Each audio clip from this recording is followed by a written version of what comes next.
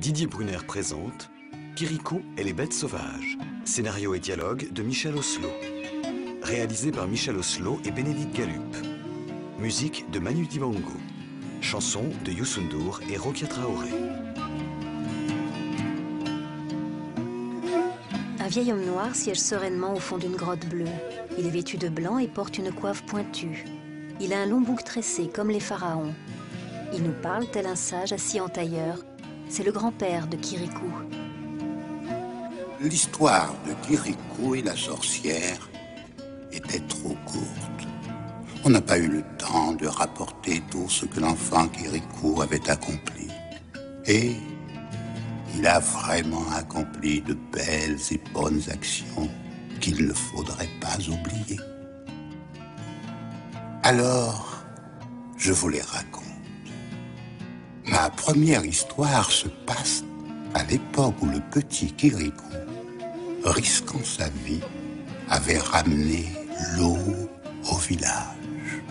On l'avait même cru noyé dans cette eau qu'il nous rendait. Une femme noire tient son enfant serré contre son sein. C'est Kirikou. Il est tout petit, nu, avec une crête de cheveux dressés sur la tête. Les enfants et les femmes du village, torse nu et vêtus d'un pagne de couleur, entourent la mère.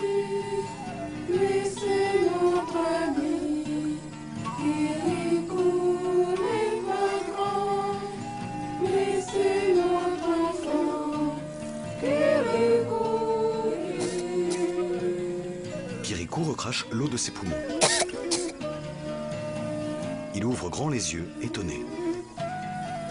Il regarde sa mère qui lui sourit.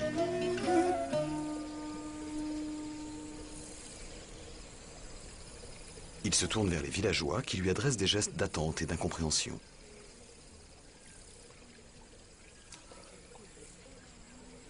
Kirikou regarde derrière sa mère.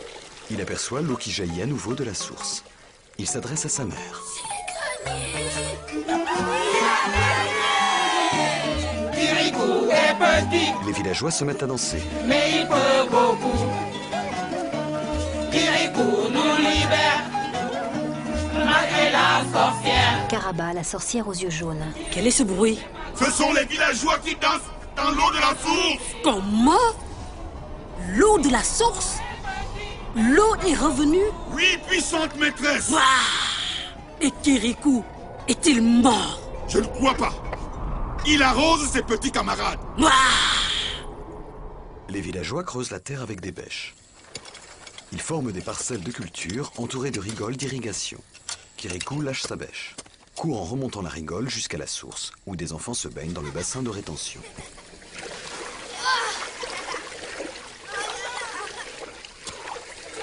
Dernier coup de bêche d'une femme et la rigole atteint le bassin. Elle se retourne. Au loin, dans le futur potager, l'oncle de Kirikou lève sa bêche pour faire signe à une femme. Elle-même fait signe à la femme du bassin qui enlève la pierre qui retenait l'eau.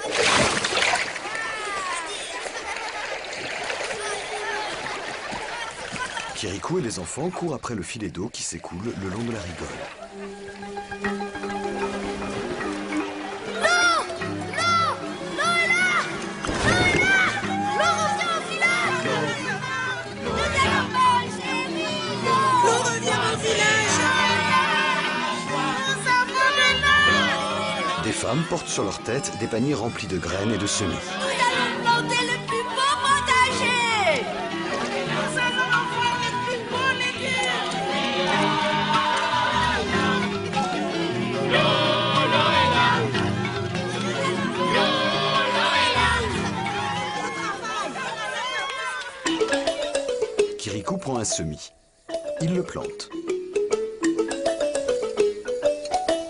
une rigole qui serpente entre les jeunes pousses.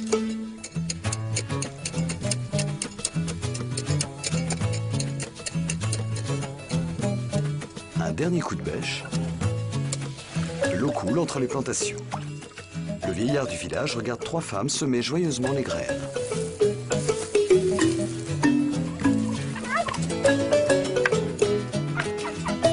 La grande jeune fille chasse les oiseaux qui viennent picorer les graines couple ont un morceau de bambou près de chaque semis en guise de tuteur. Tout le village s'affaire au potager.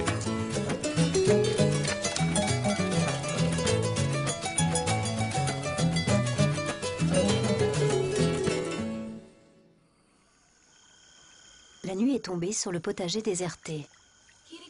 Seul Kirikou continue de bêcher éclairé par la grosse lune.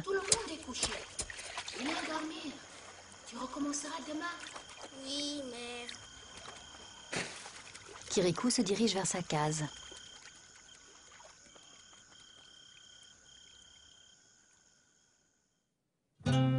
Au petit matin, les graines ont donné vie à des jeunes pousses. Kirikou attache les tiges au tuteur avec du raffia. Sa mère bêche la terre à ses côtés. Le grand garçon pose une petite embarcation faite de feuilles et remplie de coton sur une des rigoles. Le courant l'emporte à travers le potager. De magnifiques fleurs blanches, roses et mauves bordent la rive. Un très beau papillon jaune survole les plants d'aubergine, les melons jaunes, les fleurs d'ananas. Le vieillard s'approche d'une femme qui tasse la terre au pied d'un plant de piment. Mais non, ce n'est pas comme cela. Tu tasses trop fort. Je tasse comme il faut. Notre jardin potager pousse bien. On a bien travaillé. Nous allons bientôt pouvoir faire la grande récolte. J'aime bien le jardinage, mais ça ne va pas assez vite. Attention, ne cueille pas maintenant. Il faut que cela pousse encore. Je sais. Kirikou, déçu, lâche le piment.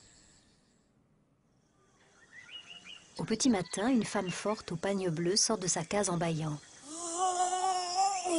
Elle récupère sa bêche, se dirige vers le potager.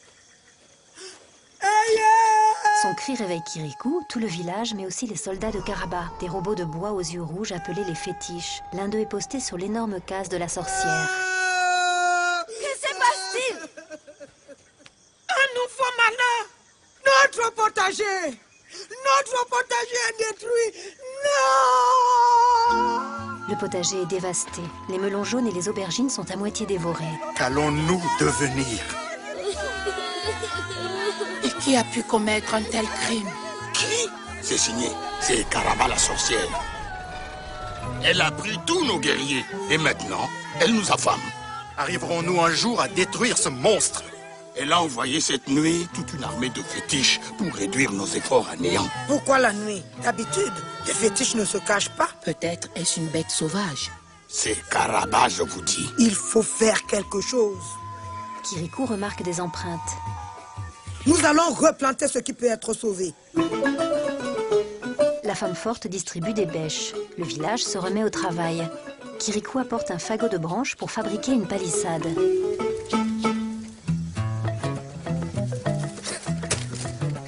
Le vieillard s'approche de l'oncle de Kirikou qui plante les piquets. Mais non, ce n'est pas comme cela. Tu ne frappes pas assez droit.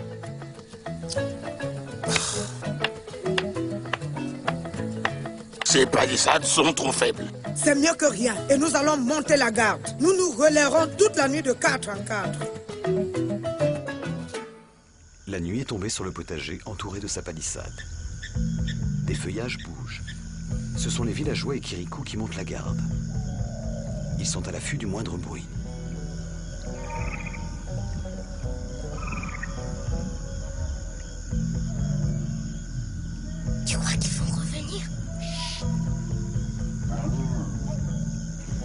Gémissements les font sursauter. Ils brandissent leur bêche. Une hyène noire aux yeux rouges surgit. Elle casse la palissade. Les villageois s'enfuient. Seul l'oncle vaillant, un bouclier et une lance à la main, fait face à l'animal.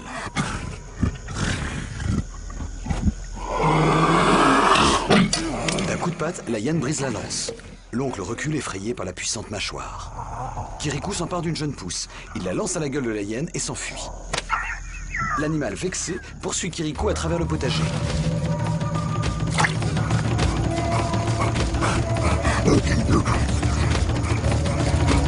Il casse la palissade. Et la course-poursuite continue dans la forêt luxuriante. Kirikou s'arrête près d'un arbre et fait demi-tour. La hyène s'arrête à son tour, surprise du manège, et repart de plus belle. Kirikou se dirige vers les cases. Catastrophe Le village Maman, j'ai peur. Il faut vite en sortir Kirikou slalom entre les habitations. Repère une calebasse. Il la retourne, se cache dessous. La hyène passe à côté sans le voir. Kirikou soulève la calebasse et s'enfuit à nouveau hors du village. La hyène renifle le sol, revient vers la calebasse et aperçoit Kirikou au loin.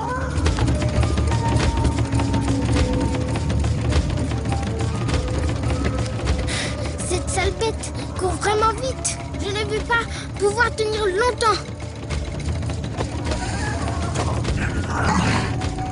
Il me faut un petit trou où me réfugier. Ou bien je suis perdu. Ah, là-bas. Kirikou repère un trou dans un tronc d'arbre. Il s'y réfugie juste à temps. La gueule de la hyène se coince dedans et accule Kirikou à la paroi. Quelle horreur Je ne peux plus bouger. Et elle pue en plus. Je suis coincé. Kirikou lève la tête. Le ciel, le tronc est creux. Bon, je vais faire de l'escalade. Kirikou saute sur la truffe de l'animal et grimpe dans le creux de l'arbre pour ressortir sur une des branches hautes. Ouf, je me sens mieux.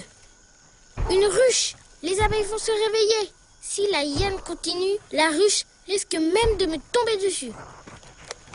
Il faut faire quelque chose. La hyène, énervée, bouscule l'arbre.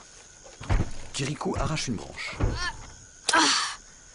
Tape les fesses de l'animal avec.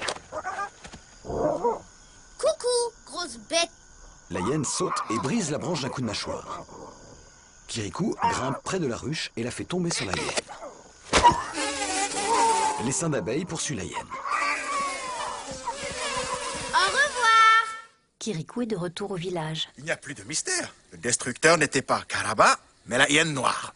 Et qui vous dit que ce n'était pas Karaba transformé en hyène Mais non La hyène noire existait bien avant que Karaba ne s'installe dans la région. Bref, il n'y a plus de mystère. Si. Que venait faire un animal carnivore dans une plantation de légumes? Tiens, c'est vrai. Il reste ce petit mystère. Mais c'est sans importance. La bête s'est enfuie. Si, c'est important. Si nous ne découvrons pas ce qui l'a attiré, la hyène reviendra. Kirikou a transporté la calebasse près de l'arbre. Il n'est pas question de laisser perdre tout ce bon miel. Il s'en sert de récipient, se lèche les doigts. Mmh, c'est bon. Bon, maintenant, il s'agit de réparer les dégâts. Quelle honte Casser un nid d'abeilles. Mais je ne savais plus que faire. Il ramasse les deux morceaux de la ruche, arrache une liane. Le tout, c'est que cela tienne. Les vraies réparations, ce sont les abeilles qui les feront. Il assemble les deux morceaux. Ma mère m'a dit que les abeilles avaient tendance à revenir, même après un accident. J'espère qu'elles vont revenir. Mais j'espère qu'elles ne vont pas revenir tout de suite. Je ne tiens pas à ce qu'elles me piquent partout. Je me sens très vulnérable. Kirikou amarre solidement la ruche à la branche et la bascule dans le vide. Les abeilles reviennent. Les abeilles Doucement. Doucement. Les abeilles virevoltent autour de lui.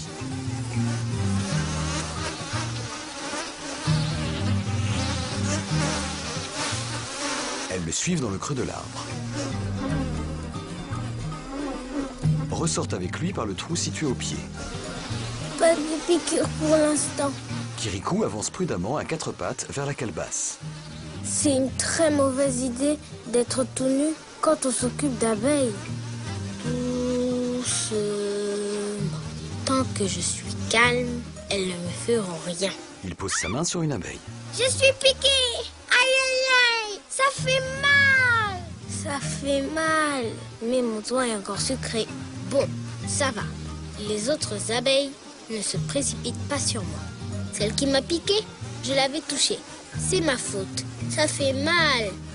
Mais comme je ne suis pas mort, je continue. Il tire la calebasse vers le village.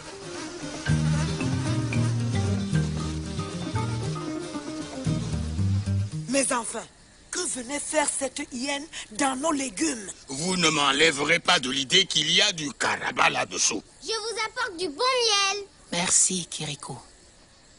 C'est bien, mon petit, mais va jouer ailleurs. Nous avons à parler sérieusement. Une hyène qui mange du mil, ça ne se peut pas. Mais cette hyène, Elle a bien dévasté notre potager. Que faut-il faire pour que cette horrible bête ne revienne pas? Il faut comprendre ce qu'elle venait faire ici. Je me demande si nous pourrons un jour percer le mystère. Mais enfin, quel mystère voulez-vous? C'est Caraba Après, c'est tout. Ce n'est pas Caraba. Voici ce que cherchait la hyène. Kirikou porte un petit animal dans ses bras. Ce petit rapalmus est blessé, mais on peut le soigner. Alors, c'est cet animal blessé que la hyène cherchait au milieu de nos légumes pour le dévorer. La hyène l'a poursuivi jusqu'ici, mais le petit animal a su lui échapper et se cacher. Nous allons le garder en sécurité chez nous jusqu'à ce qu'il soit guéri. La hyène ne s'intéressera plus à notre jardin. Tout le village danse. Kirikou est petit, mais il réfléchit. Kirikou est petit, mais il réfléchit. Kirikou se démène, tant pis pour la hyène.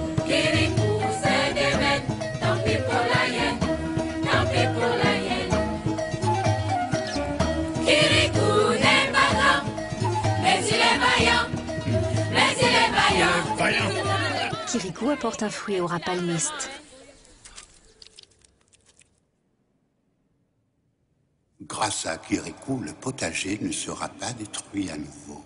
Mais ce n'est pas fini. Kirikou va encore avoir affaire avec un autre animal qui semble moins dangereux, mais sait-on jamais.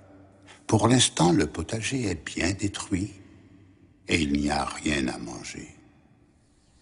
La bête ne reviendra plus détruire nos plantations. Nous allons nous remettre au travail. Tout ça, c'est bien beau.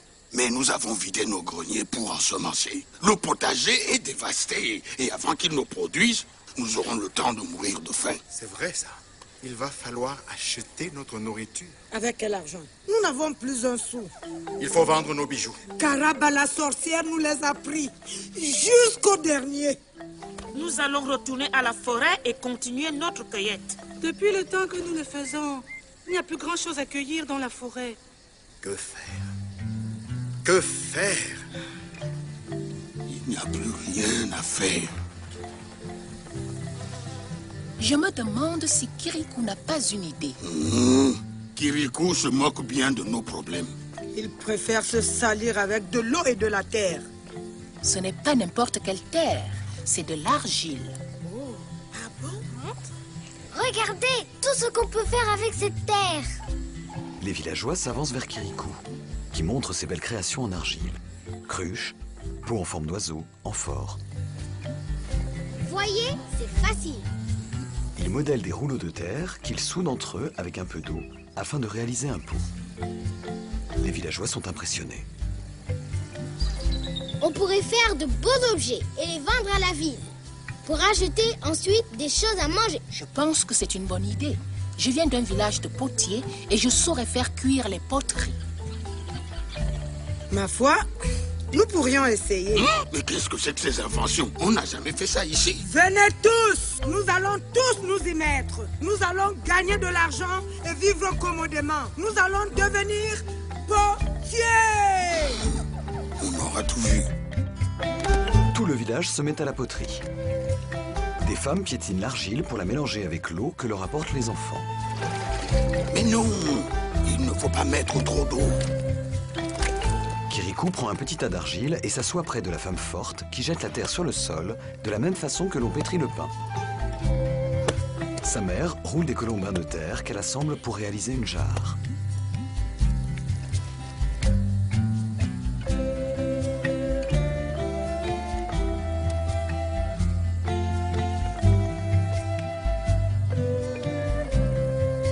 Femme forte regarde la nouvelle création de Kirikou.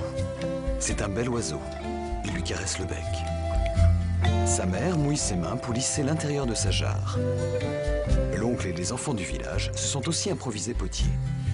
Le vieillard s'approche de la femme forte et de Kirikou qui soude une anse à une amphore. Les autres enfants réalisent des pots plus bancales. Regardez comme c'est beau T'as vu le mien Le goulot de la bouteille s'affaisse.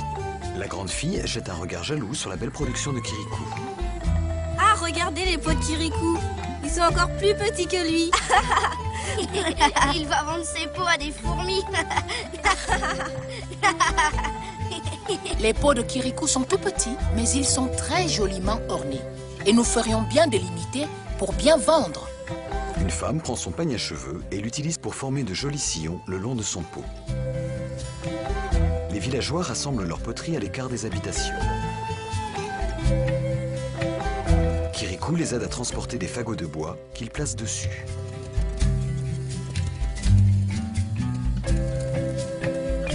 L'oncle allume le feu.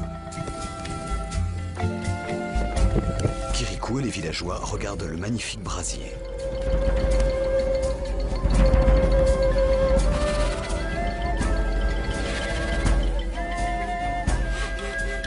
Des cendres incandescentes virevoltent dans la nuit étoilée.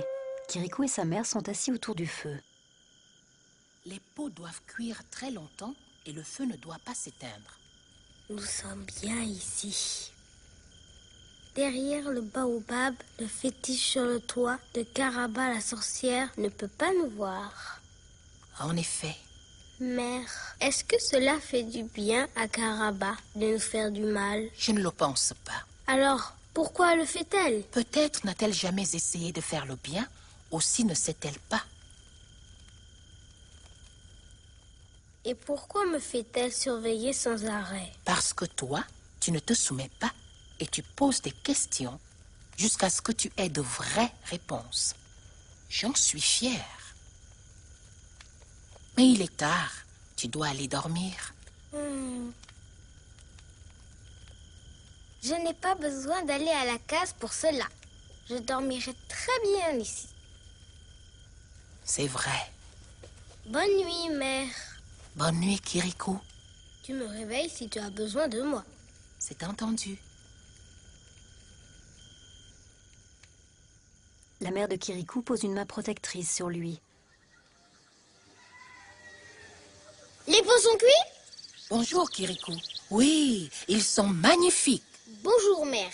Tu as travaillé toute la nuit? Oui, j'ai eu du plaisir à poursuivre ce travail. Et tu me tenais compagnie. Elle époussette les poteries recouvertes de cendres. Kirikou a protégé ses œuvres dans une calebasse. Il l'empaquette dans des feuilles de bananier. Attention, c'est fragile. Et voilà, je suis prêt. Non Les villageois empaquettent de même. Kirikou revient fièrement avec un sac rose en bandoulière. Qu'est-ce que c'est que ça? C'est pour mettre tout l'argent que je vais gagner. Tu rêves Qui voudra des pots si petits? Les acheteurs ne les verront même pas. Bon, plus qu'un paquet à ficeler. Vous serrez trop fort. Les paquets verts sont transportés sur les têtes. Quand vous serez de retour, je pense que nous aurons terminé la deuxième fournée. Je reste ici pour surveiller la cuisson. Au revoir. Au revoir. Bonne chance. Faites attention. Revenez vite et rapportez-nous de bonnes choses. C'est promis. Ce soir, nous nous régalons. Le petit groupe traverse une plaine à la terre craquelée. Il longe des herbes hautes, grimpe une colline.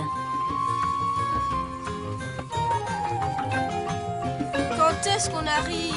Un peu de patience. C'est encore loin la ville. Bientôt, bientôt. J'ai mal aux pieds. Tiens bon, Je suis épuisée. nous approchons, nous approchons. Le paysage est de plus en plus verdoyant. Je n'en peux plus. Je suis morte. Tenez bon, on arrive. Nous sommes sauvés. Un buffle est muni de couffins. Un buffle aux yeux rouges attend sagement attaché à un arbre. Il porte des sacoches en osier sur ses flancs. Cet animal tombe à pic. D'où sort-il? On ne sait pas, mais on va l'emprunter jusqu'à la ville. Nous le ramènerons et nous le rattacherons au même arbre. Mais arrêtez D'où sort ce buffle Vous ne pouvez pas lui confier tout notre travail. C'est peut-être un piège, ce caraba la sorcière. Tais-toi. Nous sommes assez grands pour le surveiller et le retenir. Regarde, il ne bouge pas. Elle lui touche le museau. Non C'est tout notre travail, toute notre richesse. Il va l'emporter et nous reviendrons sans nourriture. Arrête de nous ennuyer, hein. C'est pas toi qui commande. Allez, mets ton paquet avec les autres. Pas question. Mais qu'il est bête. Le groupe repart avec le buffle chargé des poteries. Seul Kirikou porte encore son paquet sur la tête.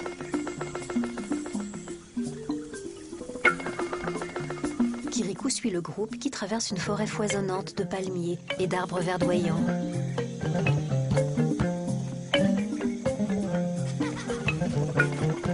Une clairière, le groupe s'arrête devant un marigot.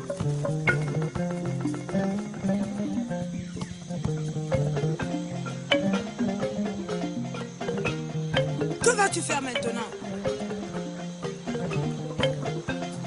Traverser à la nage avec ton paquet sur la tête? Allez, monte sur le buffle. Non Tant pis. La femme forte saute dans l'eau en entraînant le buffle. Bon, au revoir. Quel peureux. On te reprendra en retour. Tu restes vraiment ici? Non. Si tu veux bien me prendre sur ta tête. Bon, allez, monte. L'oncle se penche en avant pour permettre à Kirikou de grimper jusqu'à sa tête.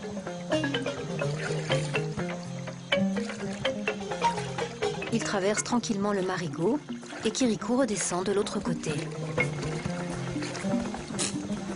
Le groupe continue son périple à travers la forêt.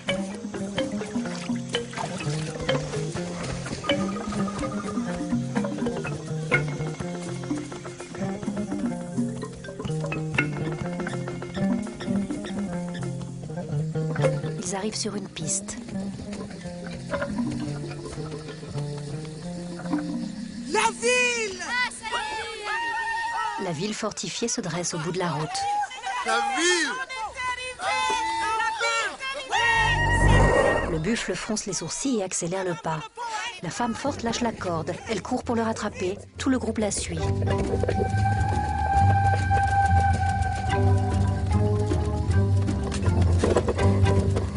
Récupère la corde un instant et la lâche à nouveau. Kirikou peine à suivre avec son paquet sur la tête. Arrête-toi Arrête-toi Le buffle se dirige tout droit vers l'enceinte de la ville où des commerçants se sont installés pour le marché. Le buffle court entre les étals.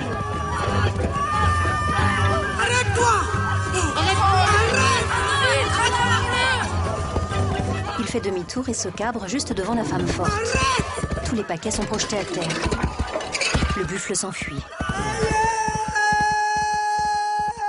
Nos poteries Tout notre travail Plus rien Que se passe-t-il? Nous avons tellement travaillé Qui hurle ainsi? Ah, Qu'allons-nous devenir On ne s'entend plus.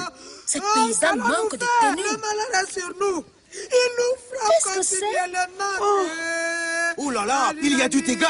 Les poteries sont en miettes. Nous sommes perdus Nous sommes perdus Rien à tirer de ce tas. Kirikou arrive avec son pactage. Il se fraye un chemin entre les badauds. Pardon. Pardon. Pardon. C'est petit. Qu'est-ce que c'est? Oh, c'est le petit. Approchez, approchez Venez voir les plus jolis petits pots de la ville. La dernière marque qui vient juste d'arriver. Pas cher. Vous pouvez mettre le sel, le poivre, votre crème de beauté, vos sous, vos coris. Dépêchez-vous, il n'y en aura pas pour tout le monde.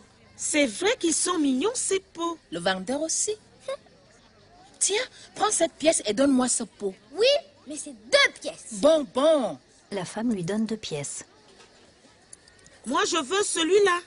Moi, j'en veux trois. D'abord, montrez-moi vos pièces. Pour deux coris, tu me donnes quoi? Pour trois coris, je vous donne celui-là. Ça va.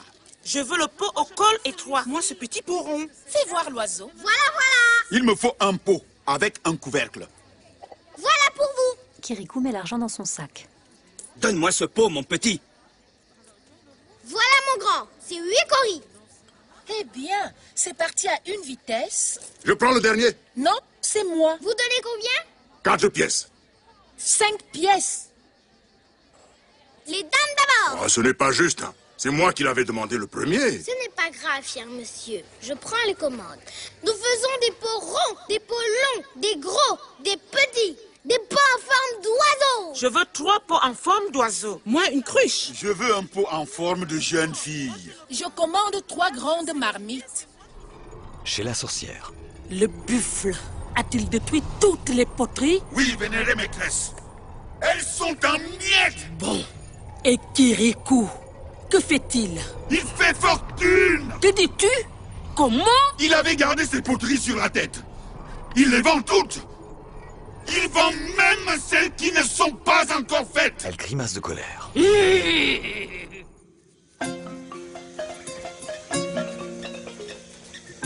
Le groupe avance sur le chemin du retour. Chacun porte sur sa tête un panier rempli de nourriture.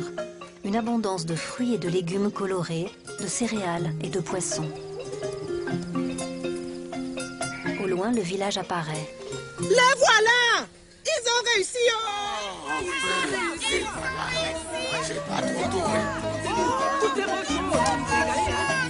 Ils dansent autour d'un feu de joie. Kirikou est petit, mais il nous nourrit. Kirikou est petit, mais il nous nourrit. Kirikou le potier a encore gagné.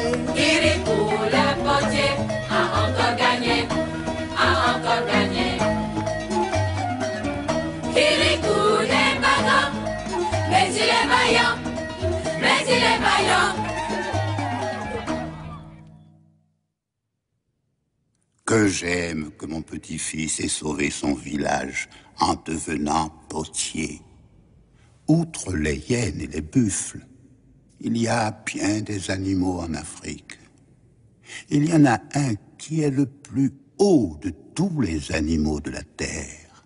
Oh, il ne veut de mal à personne et personne ne lui en veut. Grâce à lui, Kirikou a fait la plus belle promenade de sa vie. Kirikou dort dans sa case, allongé sur la natte à côté de sa mère.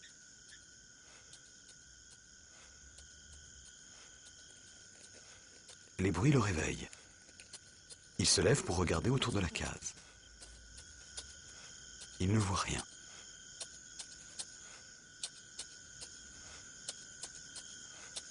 Kirikou, c'est la nuit. Tu dois dormir. Il retourne se coucher près de sa mère.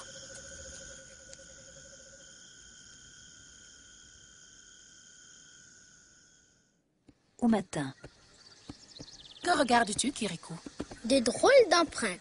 Les traces d'un oiseau à trois pattes. C'est extraordinaire. Je vais voir qui peut bien produire de telles traces. Bien. Mais ne t'éloigne pas trop. Tant que nous restons groupés près du village, les fétiches se méfient.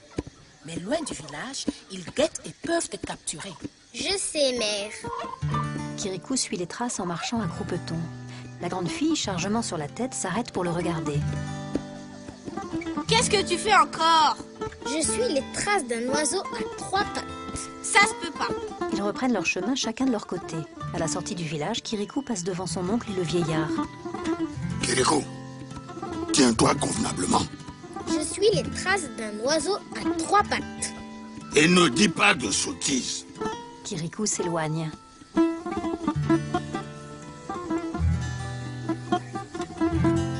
Descend une butte.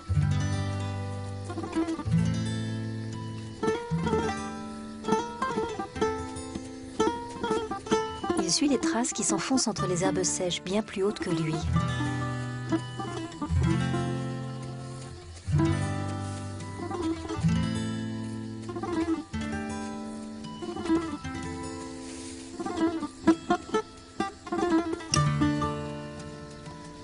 Sorcière Caraba interroge le fétiche sur le toit. Kirikou, est-il sorti du village? Oui, maîtresse. Il en est loin et il continue à suivre les classes. Il n'est pas si malin que ça. Il tombe dans le piège la tête la première. Je commence à être très loin du village. Il faut peut-être que je retourne. Kirikou, intrigué, cherche la source des bruits. C'est un fétiche qui frappe le sol avec une fausse patte d'oiseau. Il fait trois empreintes côte à côte, avance d'un pas et recommence. Des fétiches armés de lances sortent des herbes hautes. Ils se placent en cercle autour de Kirikou qui se retrouve coincé. Je suis cerné. Un fétiche preneur avance vers Kirikou en faisant claquer ses grandes mains plates. Kirikou grimpe sur un arbre pour être hors de portée.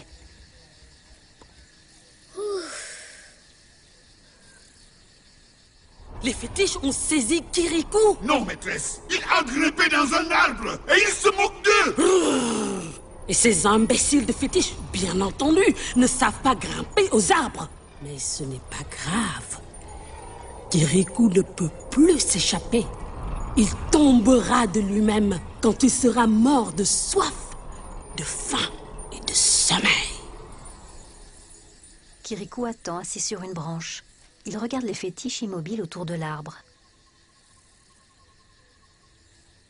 Cette fois, je suis pris. Ils ne bougent pas et peuvent rester ainsi des siècles, sans boire ni manger. Il se recroqueville tristement. Moi, je ne peux pas et je ne sais que faire. Il lève la tête vers la savane. Une girafe Le grand et majestueux animal marche vers l'arbre. Peut-être qu'elle va faire fuir les fétiches. Ça leur est complètement égal. À la girafe aussi d'ailleurs. Elle broute tranquillement les feuilles sur les branches hautes. Bon, je ne peux pas descendre, mais je peux monter. Il grimpe jusqu'en haut de l'arbre, arrache des feuilles et saute sur la tête de la girafe entre ses deux petites cornes. Il lui donne les branches tendres qu'il accueillit. Elle les mange. Il en attrape d'autres.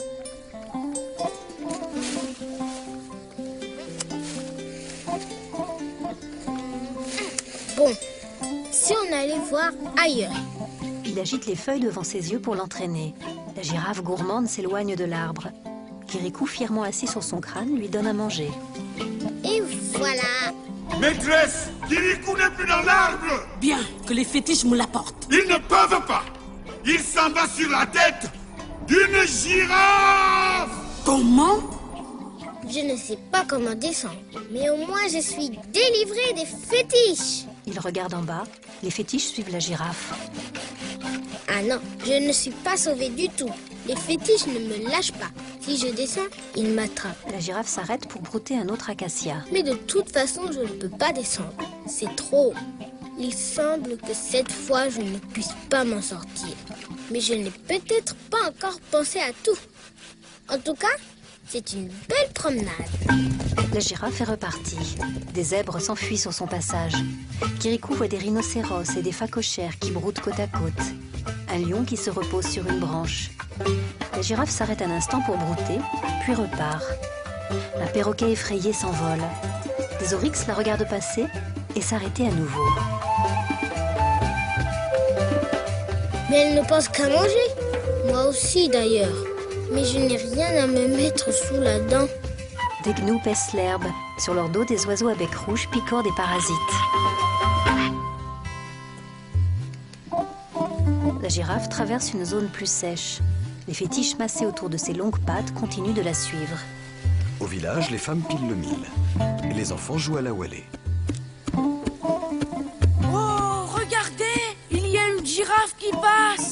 La tête de la girafe dépasse le toit des cases. Salut les amis Hein? Mais c'est Kirikou Il court pour le voir passer. C'est Laurent Il se cache. Kirikou a été capturé par les fétiches. La mère de Kirikou reste immobile. Les autres villageois, curieux, réapparaissent. Mais qu'est-ce que tu fais là-haut? Je me promène. La vue est très belle d'ici. Mais comment vas-tu descendre? Je ne sais pas encore. Je réfléchis. Tu auras beau réfléchir. Où tu restes Ou tu te casses le cou Surtout, tiens-toi bien N'aie pas peur, mère. Je suis bien assis et bien agrippé au corps. Éloigne-toi On ne veut pas de ces fétiches ici. La girafe passe entre des palmiers, arrive sur un plateau aride, longe une faille d'où sortent des arbres. Les fétiches avancent à son rythme, formant une petite tache noire autour de ses pattes. La girafe traverse une oasis verdoyante et fleurie. On ne savait pas que ces endroits existaient. Des hérons, des aigrettes et des flamants roses pêchent dans une belle eau claire. Kirikou regarde les mangues qui pendent aux branches des arbres. Il essaye d'en attraper une. J'aimerais bien qu'elle s'arrête maintenant. Celui-là, je ne le rate pas. Ah Kirikou croque dans un kumquat, petite agrume qu'on mange avec la peau.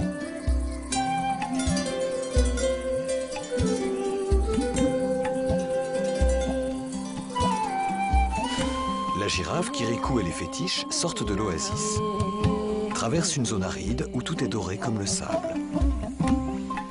Ils entrent dans le désert. De longs rochers noirs s'élèvent vers le ciel. C'est beau, mais il fait trop chaud. Kirikou s'essuie le front. Pas un seul arbre à l'horizon, mais des pierres et du sable gris à perte de vue. La promenade se poursuit dans la savane. Des autruches les regardent passer. J'ai soif. La girafe gravit une colline. Dans la vallée, en contrebas, coule un fleuve vert émeraude.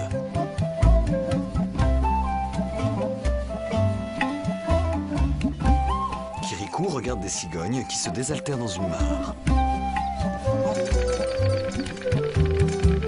Effrayée par la girafe, elle s'envole. Je suis si grand que je vois par-dessus les oiseaux qui volent. Une tornade Le ciel s'assombrit, le vent se lève. La girafe, fouettée par la pluie, s'arrête. Le vent soulève Kirikou qui s'accroche aux cornes de la girafe. Elle va m'emporter Si je lâche prise, je suis perdue. Les fétiches sont emportés par le vent. Bon débarras. Moi, je ne vais pas lâcher prise. Je ne vais pas lâcher prise. Kirikou s'agrippe de toutes ses forces. Il glisse et manque de tomber. Se rattrape et se recroqueville autour d'une des cornes. La tornade est passée. Kirikou se redresse. Il regarde le gros nuage et la pluie qui s'éloigne. J'ai tenu bon. La girafe s'ébroue. Eh oh Ce n'est pas maintenant que je vais tomber.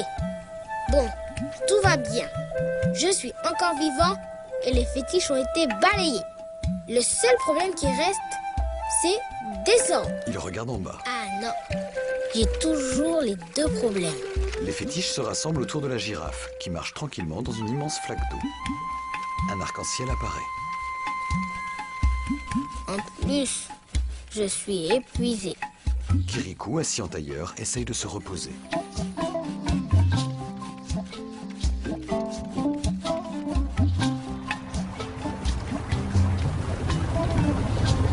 Kirikou tend l'oreille, tourne la tête. La girafe s'arrête devant des chutes d'eau impressionnantes. L'eau tombe en cascade de plusieurs dizaines de mètres de hauteur.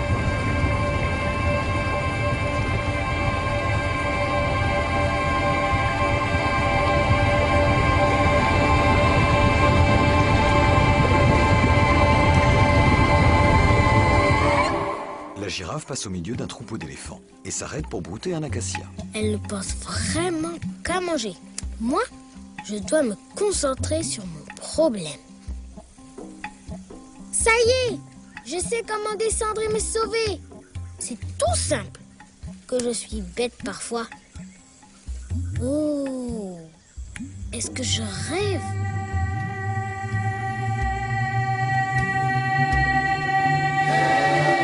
Montagne immense apparaît à travers la brume.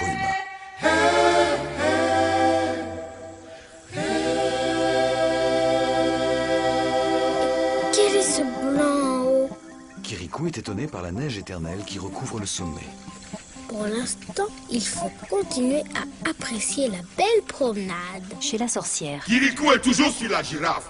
Mais les fétiches sont toujours autour de la girafe. Bien, cette fois, il ne peut pas m'échapper. Le soleil se couche. La girafe s'arrête pour boire.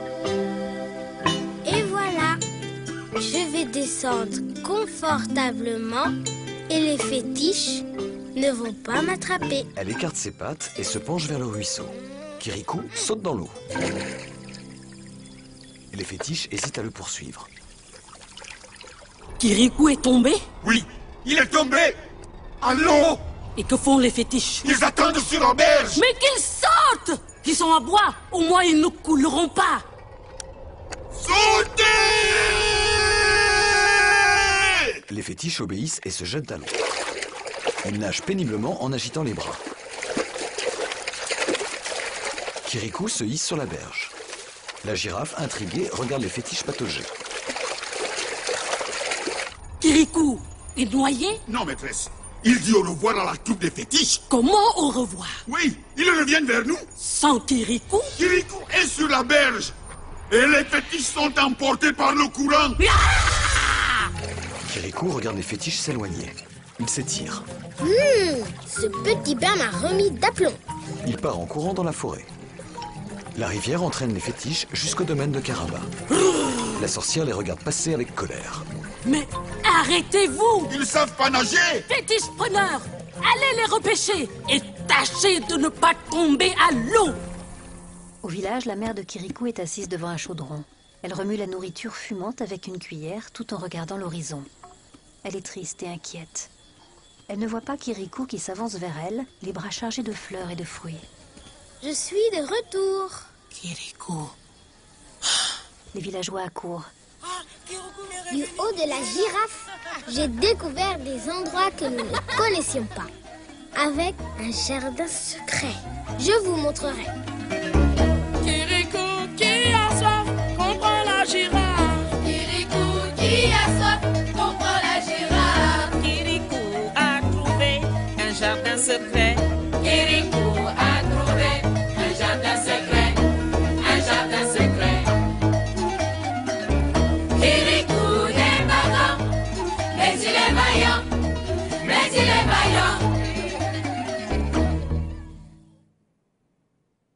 Je suis content que Kirikou ait pu faire un tel voyage.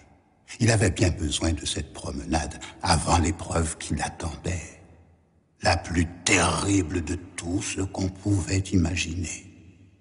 C'était pourtant une journée tranquille où tout allait bien. La bière nouvelle est bientôt prête. Encore une nuit de fermentation et nous la goûtons demain. Je pourrais la goûter moi aussi Oh, ne t'approche pas de cette jarre ou tu auras affaire à moi? La femme forte agite sa louche d'un air menaçant. Kirikou boude. La nuit passe. Le jour se lève. La femme forte ouvre la jarre à bière. Le moment est venu de goûter à la nouvelle bière. Vite, la nouvelle bière Enfin, vite On a soif. J'espère que nous allons nous régaler. La femme forte goûte la première. Elle en boit une pleine louche. Pas mauvaise du tout. Passe la louche. Peut-être pas assez fermentée. Toutes les femmes goûtent à leur tour. Il faut encore la laisser reposer jusqu'à demain. Hmm, mais elle est tout de même très bonne, hein? Demain, elle sera parfaite. Un peu de patience. Merci. Par ici Ça fait du bien Ah, quel goût Et toi, tu ne dis rien? Comment trouves-tu la bière nouvelle? Je lui trouve un drôle de goût. Comment un drôle de goût? C'est la bière que nous faisons depuis toujours. Elle est très bonne, cette bière. Tiens, j'en reprends. Kirikou traverse tranquillement le village, un ananas sauvage à la main. Mère, regarde ce que j'ai trouvé dans la forêt. Il lâche l'ananas. Mère, Sa mère est recroquevillée sur la natte. Il s'approche, lui prend la main. que t'arrive-t-il? Oh, Tu es brûlante. Je me sens très mal. Va vite chercher notre voisine. Voisine, viens vite Ma mère est malade. La femme forte est pliée en deux. Moi aussi, je suis malade, mon petit. Ma mère est tombée. Ma mère ne bouge plus. Ma mère a mal. Ma mère est malade. Ma maman va mourir. Mère Toutes les femmes sont malades. Nous avons toutes bu de la bière nouvelle. Il faut que tu ailles immédiatement vider toute la bière par terre pour que personne d'autre ne s'empoisonne. Bien, mère. Kirikou se précipite. Il observe la jarre trois fois plus haute que lui. C'est gros. Il en fait le tour.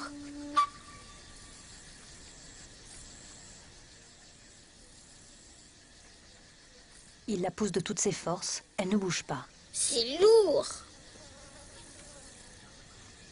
C'est stable. Pourtant, cette jarre pleine de bière, il faut que je la renverse. Elle va basculer sans que j'y touche. Il retourne dans sa case. Ne t'inquiète pas, mère. Outil et je renverse la jarre. Il revient près de la jarre avec une bêche. Bon, au travail. Il creuse autour de la jarre. Que c'est dur. Bon, maintenant, je creuse dessous. Il s'agira de m'esquiver vite pour ne pas me faire écrabouiller par la jarre qui bascule. La jarre déséquilibrée tombe. La bière se répand sur le sol. Et voilà Kirikou remarque une fleur sombre au fond de la jarre. Il s'approche, veut l'attraper, change d'avis. Il va chercher un bâton pour soulever la tige. Elle comporte quatre fleurs identiques avec des pétales pointus. Le vieillard et l'oncle de Kirikou sont réunis sous le baobab. Il n'y a plus une femme vaillante. Qu'allons-nous devenir? Oui, c'est terrible. Qui va piler le mil Qui va laver le linge? Qui va faire la cuisine?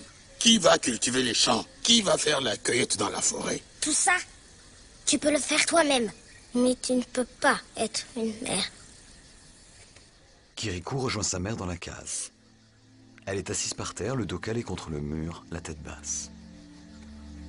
Kirikou lui caresse doucement le ventre. Mère, peux-tu ouvrir les yeux? Il y avait ces choses au fond de la jarre.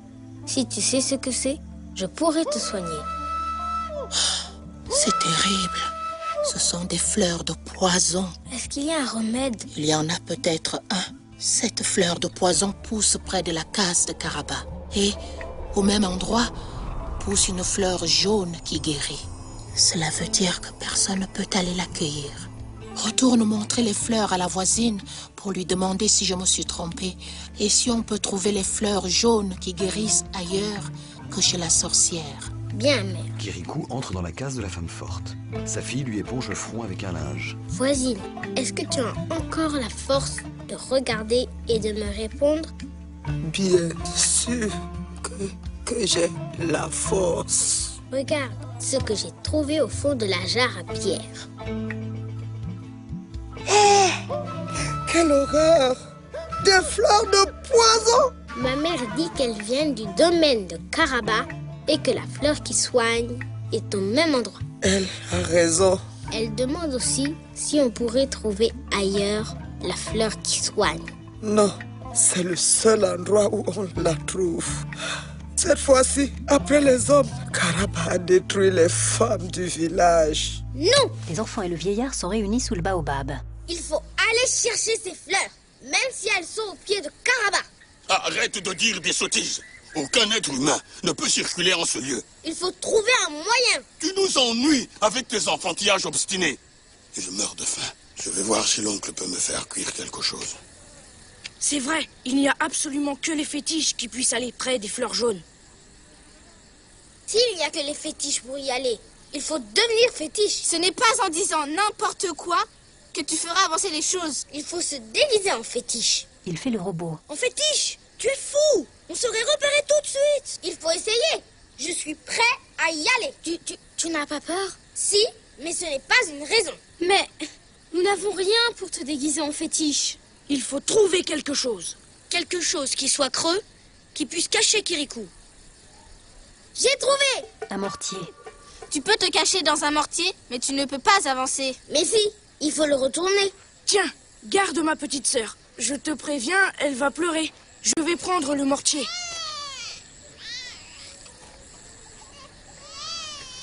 Arrête Si nous préparons quelque chose, il faut se cacher du fétiche qui guette sur le toit de Karaba.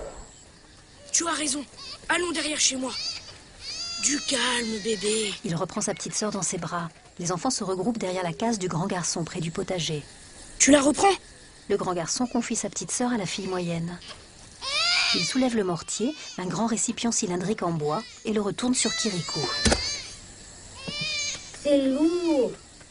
Et ce n'est pas la bonne couleur du tout. Les fétiches sont gris. Le mortier de ma mère est vieux et gris. Je vais le chercher. Je me rappelle, quand j'étais petit, je croyais que c'était un fétiche et il me faisait peur. Kirikou s'agite sous le mortier. Hé Tu me l'enlèves? Je ne peux plus respirer. L'adolescent libère Kirikou. Le petit garçon revient avec le mortier. Il le traîne par terre tant il est lourd.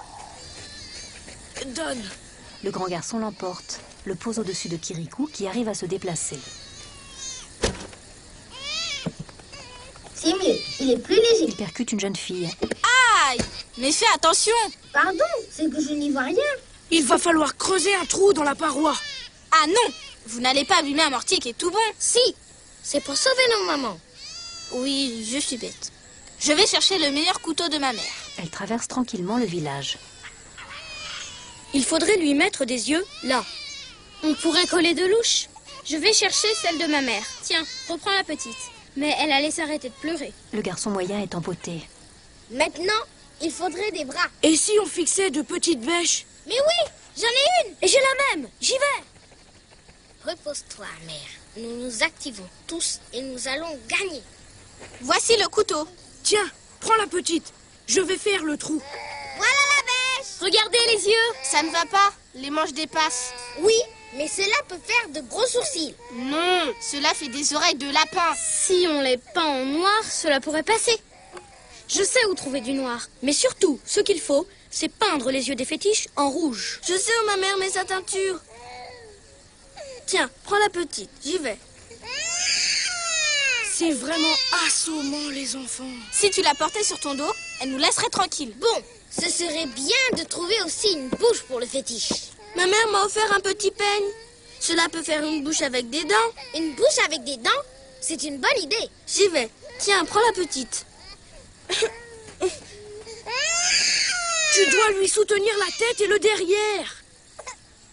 Mais pas la tête en bas J'ai la petite bêche. Comme ça, ça va? Oui, pas mal. Maintenant, berce-la un peu pour la calmer. Il la berce doucement, puis de plus en plus fort. Le grand garçon énervé laisse tomber le mortier sur Kirikou. Arrête Tu dois être très doux. Et toi alors? Tu as failli m'écraser. Il regarde par le trou percé dans le mortier. J'y. Mais arrête, bébé. Je ne te veux pas de mal. Je vois bien le paysage, mais pas par terre. Et les fleurs sont par terre. Bon, je vais creuser plus vers le bas. Voilà, j'apporte la peinture noire. J'ai trouvé la teinture rouge. J'ai le peigne et j'ai pensé au raffia. Et moi, à la colle. Au travail Le grand garçon élargit le trou. Un autre peint le manche des louches en noir.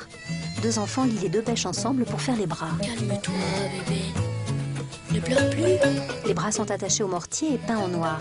Pour les yeux, la partie ronde des louches est peinte en rouge. Deux petits ronds noirs forment les pupilles. Le peigne est positionné comme une bouche. Un cercle noir cache le trou. Le mortier ressemble parfaitement à un fétiche. Maintenant, il faut attendre que cela sèche. C'est ça le plus dur. Regardez, la petite ne pleure plus. Kirikou caresse doucement le ventre de sa mère. Mère, nous savons où trouver les fleurs jaunes. Nous y allons. Kirikou, ne commets pas d'imprudence. Ne t'inquiète pas, mère. Ce n'est qu'un jeu d'enfant. Les enfants sont réunis autour de leur fétiche. Cette fois, c'est bien sec. Mais que fait Kirikou Je l'ai cherché partout. Le fétiche se met à avancer. Est-ce que j'imite bien la démarche des fétiches? Oh oui, on a presque eu peur. Parfait. Catastrophe Qu'y a-t-il Dès que le fétiche sur le toit verra notre fétiche sortir du village, il devinera que c'est un faux. C'est vrai, nous sommes coincés derrière cette case. On ne peut pas sortir. On a pensé à tout, sauf à ça. Si, on y a pensé. Tu as un moyen de te rendre invisible. Tu me portes dans le mortier, attaché dans ton dos, comme un gros bébé. Quoi? Il n'en est pas question. C'est ridicule, ça ne marchera jamais. Je ne ferai pas cela. Moi, je le ferais bien, mais j'ai déjà un bébé dans le dos. Moi, je le ferais bien, mais j'ai déjà un bébé dans les bras. Moi, je le ferais bien, mais je suis tellement moins grande et forte que toi. C'est pour nos mamans. La grande fille noue une écharpe autour du mortier attaché dans le dos du grand garçon. Kirikou est caché par un tissu. Ça va, Kirikou Oui, oui. Pour l'instant, c'est facile. Maintenant, c'est du sérieux. Nous nous dispersons l'air de rien et nous nous retrouvons derrière les buissons de la route des flamboyants. Les enfants traversent le village et partent dans des directions différentes.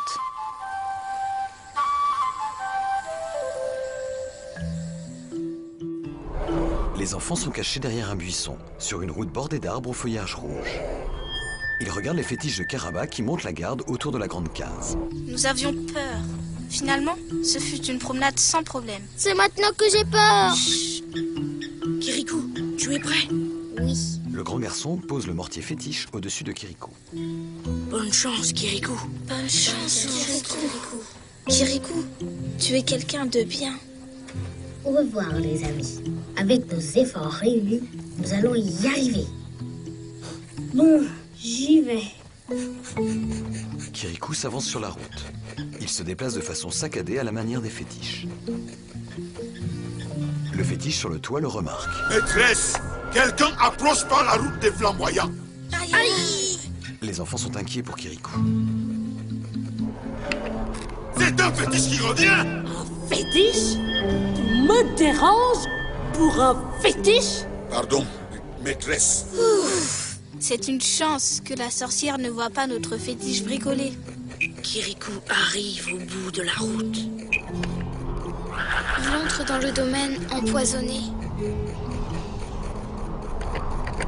Ça y est, il est dans la gueule du loup. Il s'arrête Le pauvre. S'il revient tout de suite, je ne lui en voudrais pas. Kirikou regarde autour de lui. Il examine les différentes espèces de fleurs qui poussent dans les cailloux.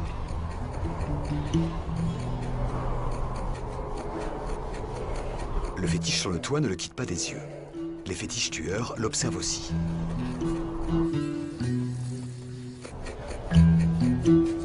Kirikou s'approche d'un pied de fleur rose, puis blanche, puis orange, et découvre enfin les fleurs de poison. Il cherche autour les fleurs jaunes dont lui a parlé sa mère. Il se place au-dessus et les cueille toutes.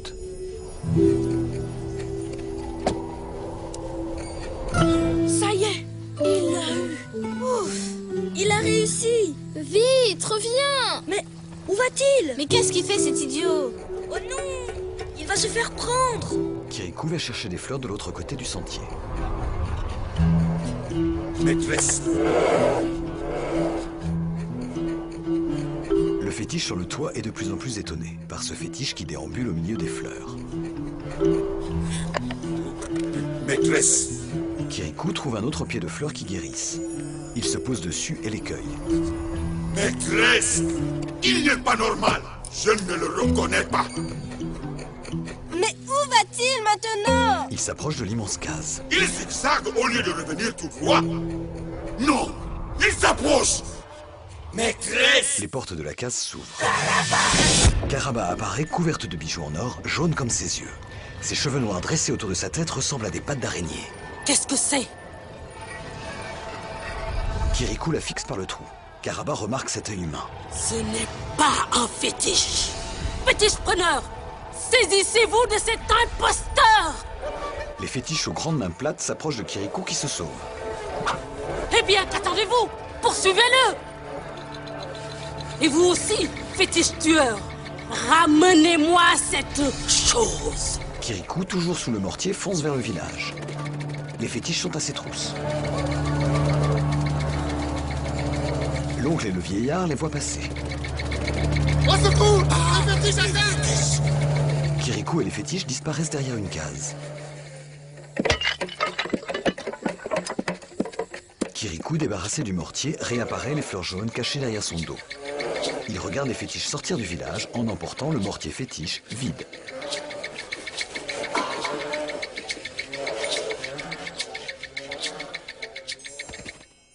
Kirikou, une fleur jaune à la main, s'approche de sa mère endormie.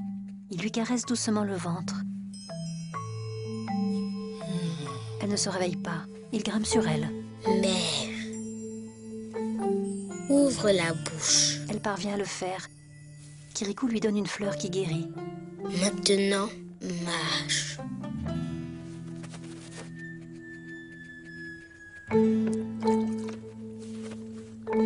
Kirikou lui donne de l'eau dans une calebasse. Maintenant, bois. Il l'aide à boire plusieurs gorgées.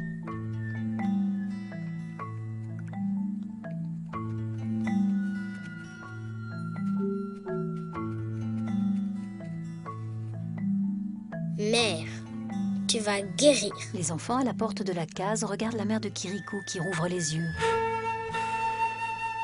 Kirikou, tu m'as guéri. La mère de Kirikou est guérie. Elle est guérie. La mère de Kirikou prend les fleurs jaunes posées en tas à côté d'elle. Elle en distribue une à chaque enfant. Vite, prenez une fleur et allez la faire manger à vos mères. Et moi, je m'occupe des grands-mères. Tous les enfants font manger une fleur à leur mère affaiblie.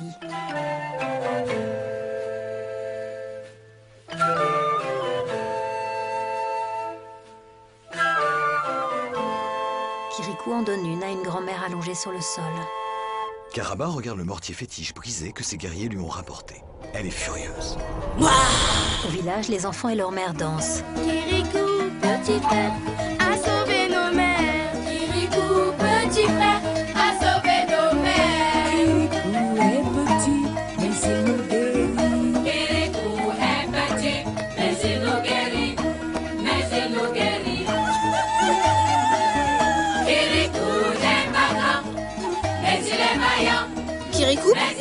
il y a une chose que je n'arrive pas à deviner. Dis-moi, Quand tu as eu enfin les fleurs, au lieu de revenir vite, tu es allé vers Caraba la sorcière. Que voulais-tu faire? Rien. Comment? Rien Je voulais juste la regarder. Elle est si belle.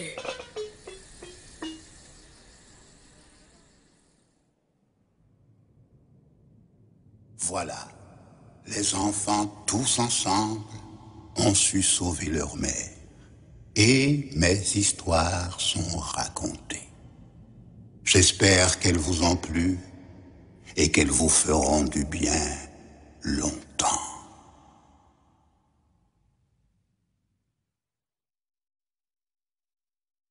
Ce film est dédié à Alexandra Tolens. La description en audiovision de ce film a été écrite par Séverine Skierski et Frédéric Gonan. Enregistrée par Marilus Plumosi et Frédéric Gonan. Prise de son, synchronisation et mixage, Thibaut Bourgeon et Patrick Saonit, au studio d'enregistrement de l'association Valentin